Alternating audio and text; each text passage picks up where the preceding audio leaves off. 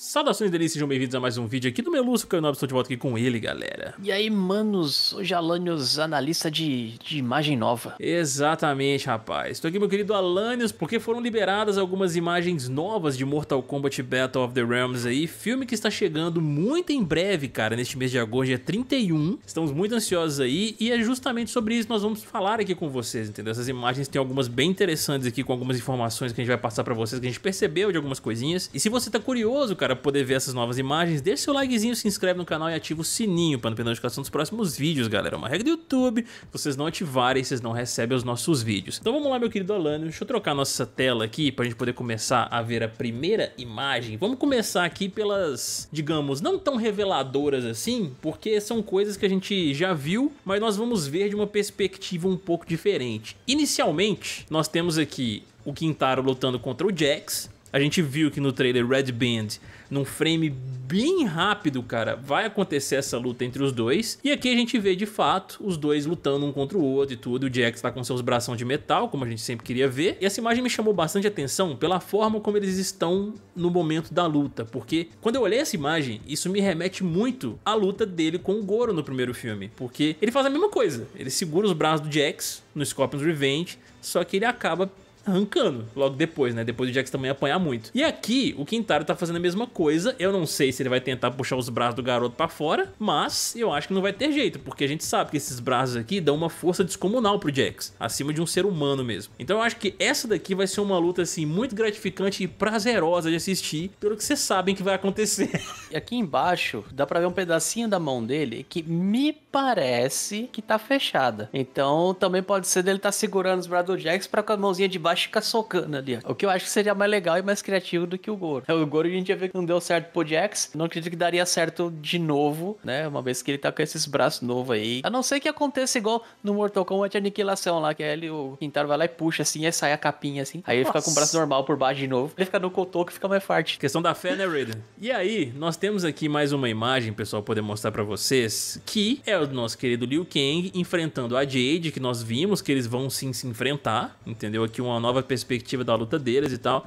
E eu queria chamar a atenção para esse design da Jade, da roupa dela e tudo mais assim, que, cara, se você comparar com o que eles estão fazendo com a Kitana desde o Scorpion's Revenge, a Jade ela tá bem melhor. E eu queria chamar atenção pra força da pisada que ela deu ali. Tamanho daquele buraco, meu irmão. Você é louco. Mas voltando pra questão do design ali, né? A Jade cabelo comprido, aquela trança. Acho que no Mortal 9 ela tá assim, né? Acho que ela tem uma trança grandona no Mortal 9, sim. É. é a Kitana tá lastimável, né? É, tá esquisita. O design dela tá esquisita. Desde o Scorpion's Revenge no, e nesse aqui agora eles não melhoraram, não. A Jade, pelo menos, tá aparentando que tá melhor do que a, do que a Kitana ali. E nessa parte aí, Caio, dá pra ver claramente, né? A gente já tinha visto antes, mas só pra reforçar, que o Liu Kang tá com os braços normal ainda, né? Parece que em algumas lutas específicas mesmo, que ele vai despertar aquele poder muito louco lá. A gente viu isso acontecendo contra o Shang Tsung e contra o Shao Kahn. A gente ainda não sabe exatamente o motivo pelo qual isso acontece, mas em outras lutas como a da Jade, por exemplo, aqui, ó, parece que ele não desperta isso. Vamos ver se até o final da luta, quando o filme sair, né? Isso acontece. Mas a gente vê no trailer, que foram apresentados até agora pra gente,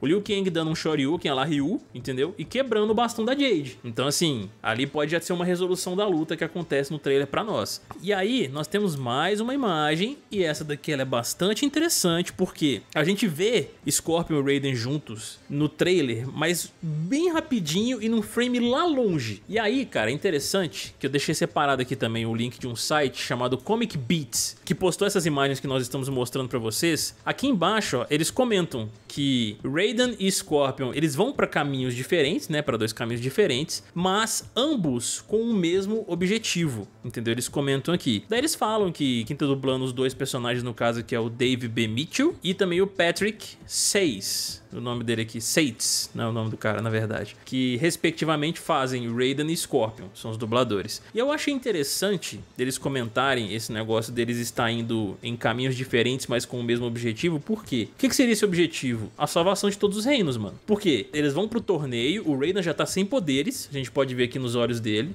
eles vão pro torneio para justamente salvar Earthrealm e os outros reinos, que eles falam que vai ser o torneio definitivo. E o Scorpion, o Raiden deve falar com ele, cara, eu não preciso que você participe no torneio aqui pra gente, com a gente. Eu quero que você vá atrás das Camidogos, porque deve ter alguém reunindo, alguma coisa assim.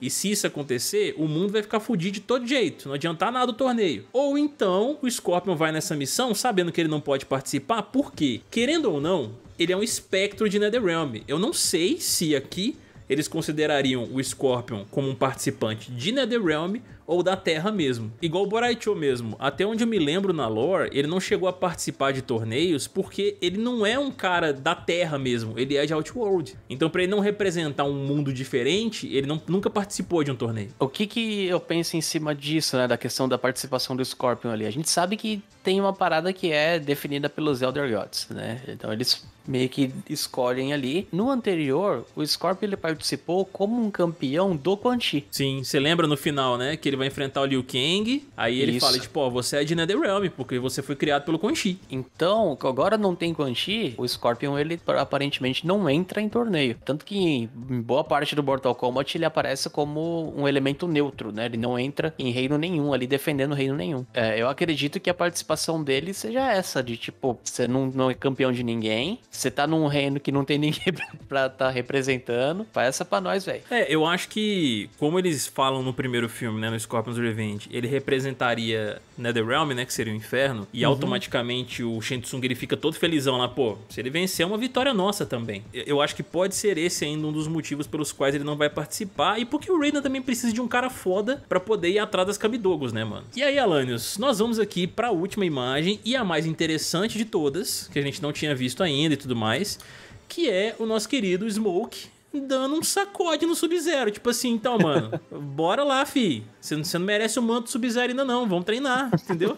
e aí é interessante que eles falam nesse site aqui, o Comic Beats, que eu deixei separado aqui pra poder mostrar pra vocês, nessa última imagem, eles comentam ó, que o Smoke ele não tá pegando leve no treinamento sparring que ele tá fazendo com o Sub-Zero. O Alanis ele sacou quando ele viu a imagem a primeira vez que é, eles, tá, eles podiam estar treinando mesmo alguma coisa assim. Eu não. Eu pensei assim, porra, por que, que o Smoke tá batendo no Sub-Zero desse jeito?